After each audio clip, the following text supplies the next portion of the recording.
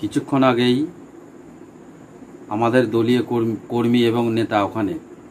কিশোরপুর এক গ্রাম পঞ্চায়েতের নিরঞ্জন বাটিতে বাড়ি, প্রণব মাইতি।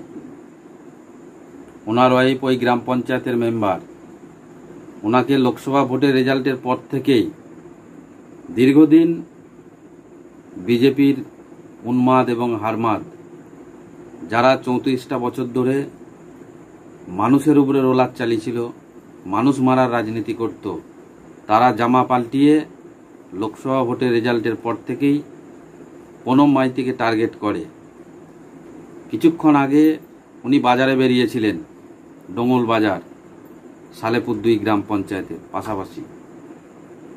তো ওনার পেছন থেকে বিজেপির কিছু হারমাদ, উন্মাদ ওনাকে টার্গেট করে এবং ডোঙল বাজার থেকে তুলে নিয়ে চলে যায়।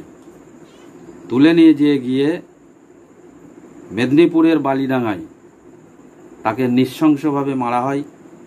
আপনারা ছবি দেখলেই বুঝতে পারবেন যে বিজেপির উন্মাদ এবং হারমাদরা যে কতটা নৃশংস হতে পারে তাকে নৃশংসভাবে মারা হয়েছে। হাত এবং পা মুখে ছুরি দিয়ে কাটা হয়েছে। আপনারা দেখতে পাবেন। সেন্সলেস হয়ে যায় উনি। এবং সেন্সলেস হওয়ার পর ওনাকে দ্বারকেশ্বর নদীতে ঠেলে ফেলে দেওয়া হয়। তো এই বিজেপির মুখে জয় শ্রীরাম ধ্বনি আর মানুষ মারার রাজনীতি। এর তীব্র ধিক্কার এবং নিন্দা করছি।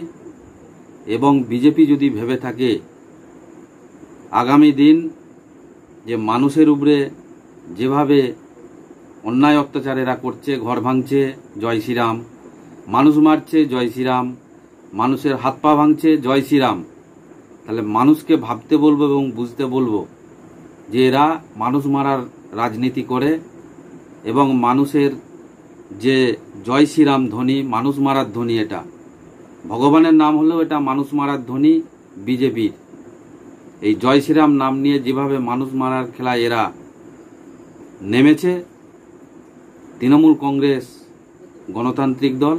এর তীব্র ধিক্কার, নিন্দা জানাচ্ছি এবং যদি বিজেপি মনে করে আগামী দিন এই মানুষ, এইভাবেই মেরে মানুষের উপর রোলার চালিয়ে মানুষকে দমিয়ে রাখা যাবে, মানুষ আগামী দিনের যোগ্য জবাব দেবে।